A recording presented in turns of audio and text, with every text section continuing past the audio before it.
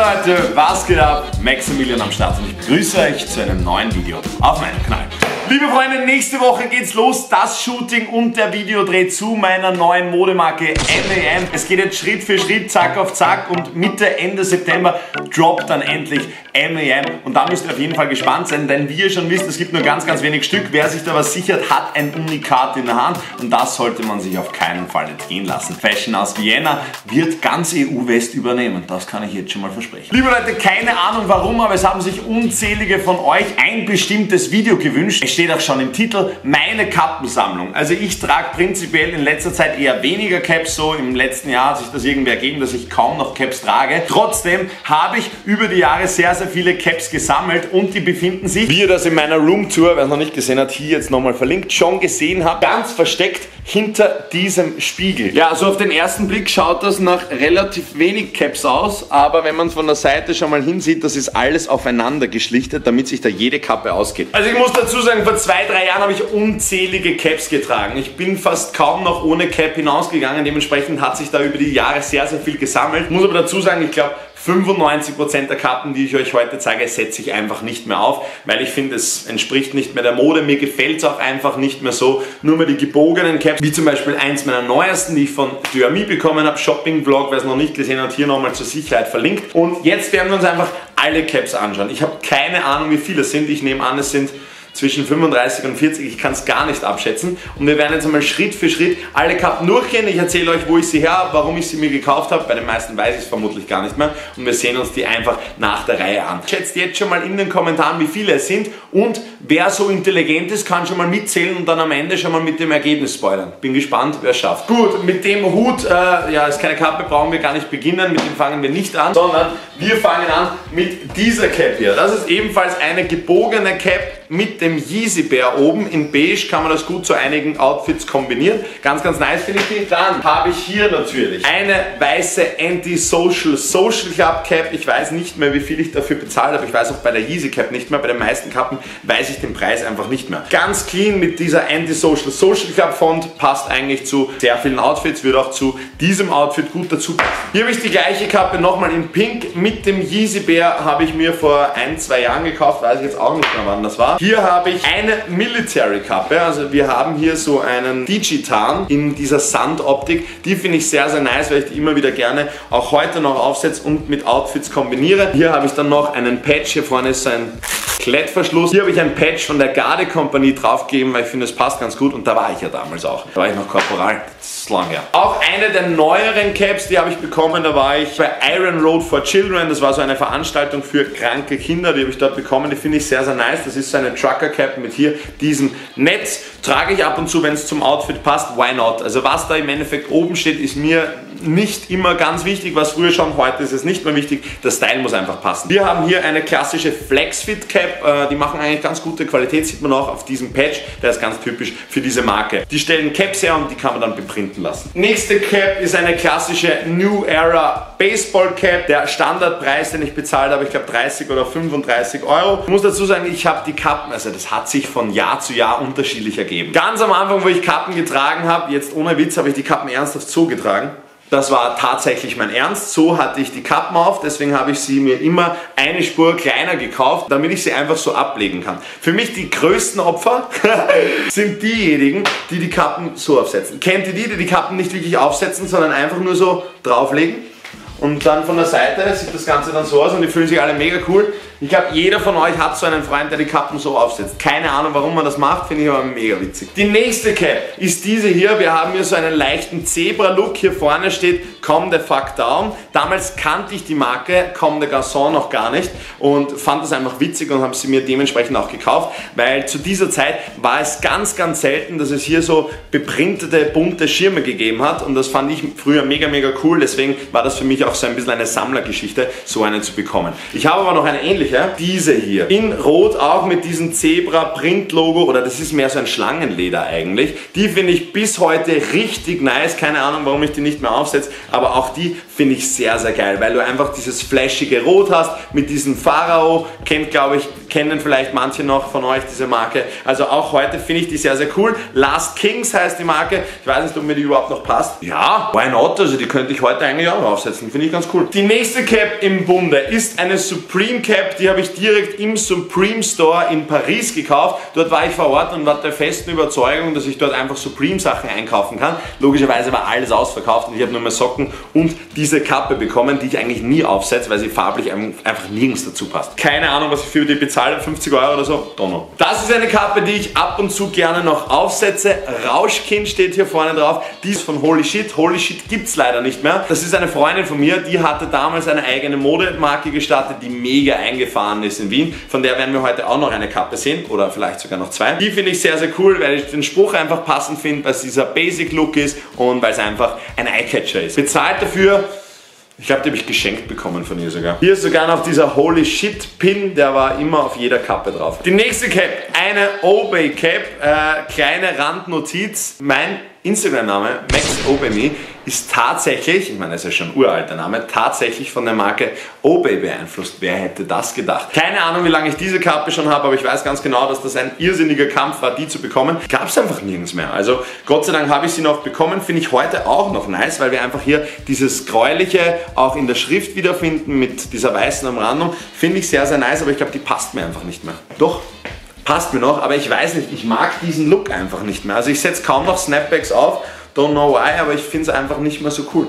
Die nächste Cap, und jetzt sieht man, Freunde, ähm, dass ich die schon länger nicht mehr aufgehabt habe, die ist schon extrem verstaubt. Atlanta Cap, ganz klassische Base Cap, wieder in einer kleinen Größe, damit ich sie so aufsetzen kann. Ja, das fand ich damals wirklich cool, keine Ahnung, was da mit mir abgegangen ist. Hier haben wir wieder eine Anti-Social Social Club Cap, genau wie die weiße, mit dieser klassischen Schrift auf der Seite, setze ich heute auch noch immer wieder gerne mal auf. So Freunde, hier habe ich jetzt drei Caps am Start. Zum einen, ich glaube diese Kappe das ist so die Basic Cap. Haben wirklich einige von euch zu Hause. Ich weiß gar nicht mehr von welcher Marke die war. Steht hier auch gar nicht drauf. Aber die habe ich auch sehr, sehr oft aufgehabt, weil sie clean ist, weil sie einen weißen Aufdruck hat und der Schnitt gar nicht so schlecht ist. Hier habe ich eine graue Kappe, da steht drauf Don't Trust Anyone. Hier unten ist dann nochmal so ein Print Illuminati. Finde ich sehr, sehr nice. Habe ich auch kaum noch auf. Weiß nicht mehr, wo ich die überhaupt her habe. Vielleicht habe ich die gefunden irgendwo. Man weiß es nicht. Finde sie aber nach wie vor eigentlich ganz cool, aber Snapbacks trage ich einfach nicht mehr. So, hier haben wir nochmal eine ganz klassische OB-Cap in blau-rot. Auch das muss zum Outfit einfach passen, weil ich nichts davon erhalte, wenn die Cap einfach nicht zum restlichen Fit passt. Das ist irgendwie so clownshaft und so, als hätte man einen Fahrradhelm auf, der so circa zu keinem Outfit passt. Nicht mein Style, setze ich kaum noch auf. Hier nochmal eine OB-Cap in rot-schwarz. Auch die sehr, sehr basic, setze ich nicht mehr auf. Und jetzt kommen wir schon langsam zu meinen Lieblingscap, wie zum Beispiel eine die ich mir selbst anfertigen ließ. Das war damals in New York, habe ich mir diese Kappe dort besticken lassen. Das war damals eine Weltneuheit. Also das habe ich das erste Mal in Amerika gesehen, heute überall in Deutschland und Österreich möglich. Die habe ich mir besticken lassen mit der Aufschrift Bauernlaufsteg Wiener Neustadt. also die finde ich sehr, sehr nice. Wenn ich da in Wiener Neustadt damit auflegen bin, kassiere ich immer wieder böse Blicke, aber ich finde es bis heute eigentlich sehr, sehr witzig, weil sie einfach genau das Klientel wiedergibt, das man dort immer wieder antrifft. Aber Freunde, mein Herz schlägt für Neustadt, deswegen no front, würde man sagen, oder? Und man merkt schon an dieser Cap, hier ist wieder eine Obi-Cap, ganz schlicht in grau-schwarz. Und da merkt man, dass ich Obi sehr gefeiert habe damals, aber auch die setze ich eigentlich kaum noch auf. Und wie man hier schon erkennen kann, man sollte die Kappen einfach nicht so in den Koffer schmeißen, weil die dann einfach zerdrückt werden und das kriegst du dann nie wieder raus. Also das sieht man jedes Mal beim Aufsetzen. Das ist halt ärgerlich. Ich glaube, es gibt sogar eigene Kappenaufbewahrungsbehälter für den Transport. Habe sowas nie gekauft, aber die auch relativ schwer zu ergattern, mega happy. Dann die erste Cap, die ich mir als Maximilian, das ist ja eigentlich mein DJ-Name, damals hieß sie noch Maximilian mit Abstand, ja, was für ein Unterschied, also Max A. Million, die habe ich mir damals machen lassen, auch hier sieht man dieses rote Leopardenmuster, finde ich auch sehr, sehr nice, keine Ahnung, wo ich die besticken ließ, aber die dürfte ich relativ oft aufgehabt haben, wie man schon am Schweißrandel sieht, ja. Jedes Mal beim Video drehen, auch die Kappe wird Schweißränder bekommen, es wird einfach so heiß, wenn die Fenster geschlossen sind. Die Cap ist relativ funny, äh, Grüße gehen raus raus an Rudy MC, mit dem war ich damals auf Summer Splash unterwegs, habe einen Typen mit dieser Kappe gesehen und habe die ganze Zeit von dieser Kappe geschwärmt. Was macht er? Geht einfach zu dem Typen hin, stiehlt ihm die Kappe und gibt sie mir. Die hast du einfach, die hast du nur in Amerika bekommen. Also das war einfach ein Grail von mir, der durch Diebstahl Gott sei Dank nicht meinerseits erreicht wurde, aber das war eine Cap, die ich immer wieder aufgehabt habe und die ich bis heute noch feiere, weil sie einfach diese klassische O-Beschrift hat und weil es früher gab es das einfach noch nicht mit diesem Leopardenmuster. Das war für mich was ganz, ganz Besonderes. Hier haben wir, glaube ich, eine Kayla Sons. Ich glaube, die vorige Kappe kostet übrigens 70, 80 bis 100 Euro. Ich weiß es überhaupt nicht. Kann es nicht sagen, aber die war sehr, sehr selten und sehr, sehr teuer. Ich meine, ich habe es nicht bezahlt, aber ich kenne die Preise. Die ist äh, von Kayla Sons. Paris fucking City steht da drauf. Nach dem Anschlag in Paris war es relativ schwierig, die Kappe eine Zeit lang zu tragen. Wir haben hier so ein typisches Blumenmuster. Ähm, fand ich sehr, sehr cool. Habe ich immer wieder mal getragen. Heute natürlich nicht mehr. Übrigens, Leute, war ich so ein unfassbarer Kappenfanatiker, dass ich mir sogar eigene Tricks mit Caps einstudiert habe. Keine Ahnung, ob ich die heute noch kann, aber ich werde mal ein paar versuchen. Okay, okay, schauen wir, ob ich heute, so habe ich es natürlich aufgehabt. Schauen wir, mal, ob ich heute noch was zusammenbringe.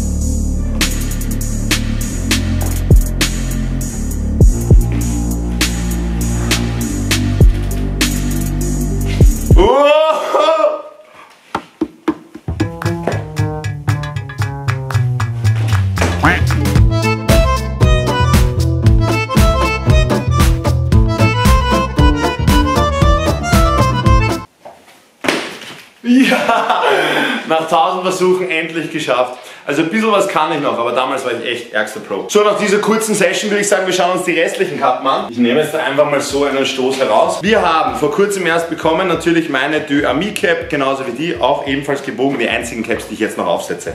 Die finde ich sehr, sehr nice, ebenfalls von der Marke Holy Shit, die habe ich sehr, sehr oft getragen. Hier steht drauf Sex, Drugs and Wiener Walzer. Fand ich sehr, sehr cool, auch in dieser Camo-Optik. Also bis heute eine Cap, die ich sehr, sehr feiere, aber selten noch aufsetze, weil auch die Schrift schon extrem dreckig ist. Hier meine letzte Holy Shit Cap. Hier steht drauf Too Many Fucking Heiseln. Die Österreicher werden es verstehen. Finde ich sehr, sehr cool. Bis heute noch setze ich sehr, sehr gerne auf. Ab und zu mal. Snapbacks, wie ihr wisst, nicht mehr so mein Fall, aber wenn man sie biegt, dann geht das Ganze schon klar. Die habe ich so gut wie nie aufgesetzt, ja. Also, keine Ahnung, feiere ich heute auch eigentlich nicht mehr so wirklich. Auch die 35 Euro oder so, New Era Cap, Basic einfach. Dann auch die, ich glaube, die hat fast jeder von euch zu Hause. Nicht wirklich was Besonderes. Basic in Rot, passt zu manchen Outfits dazu, würde ich heute auch niemals mehr aufsetzen. Auch hier, wir bleiben bei den klassischen New Era Caps. Die habe ich keine Ahnung, wann das letzte Mal aufgehabt. Die ist auch schon mega dreckig und verstaubt. Sieht man einfach, dass ich die Kappen nicht mehr trage. Und auch die von Mitchell Ness. Auch das ist eine Kappenmarke, die einige von euch kennen. Die ist bekannt dafür, dass sie eben hier diesen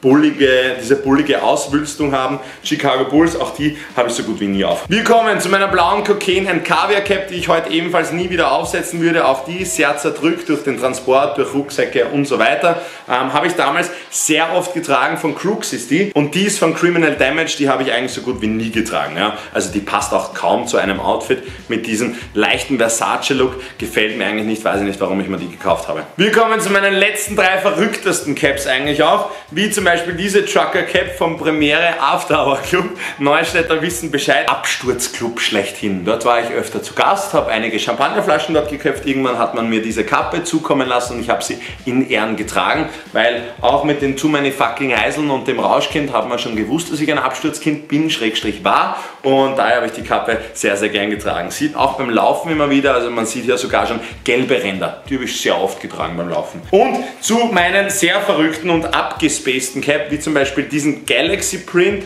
den habe ich in Kombination mit einem Galaxy Shirt, also so ein Basic Shirt mit so einer Galaxy Print Brusttasche getragen. Es hat in der Kombi eigentlich nicht schlecht ausgesehen, aber die Art und Weise, wie ich die Kappe aufgehabt habe, war absolute Katastrophe. Und im gleichen Style, man kennt diesen Schnitt noch von diesen ganzen Supreme Caps, habe ich noch diese Amerika Flaggenkappe, whatever.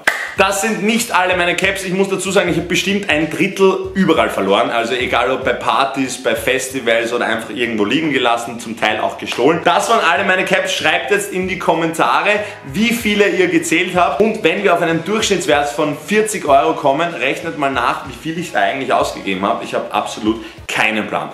Das war meine Kappensammlung, liebe Freunde. Ich weiß nicht, ob das überhaupt interessant war. Mich hätte es nicht interessiert, aber nachdem so viele von euch gefragt haben, mache ich das Video natürlich gerne für euch. Wenn es euch gefallen hat, dann lasst auf jeden Fall ein Like da. Schreibt mir unbedingt in die Kommentare, welche Kappe euch am besten gefallen hat und welche ihr am schrecklichsten gefunden habt. Ich bedanke mich fürs Zusehen. Ich verlinke euch jetzt noch hier und hier ein weiteres Video von mir. Und liebe Freunde, abwarten. Nächstes Monat geht's los. Meine neue Marke MAM. Ich bin schon mega gespannt auf euer Feedback und ich freue mich schon extrem darauf. Ich bedanke mich fürs Zusehen. Das war's für mir. Euer Maximilian.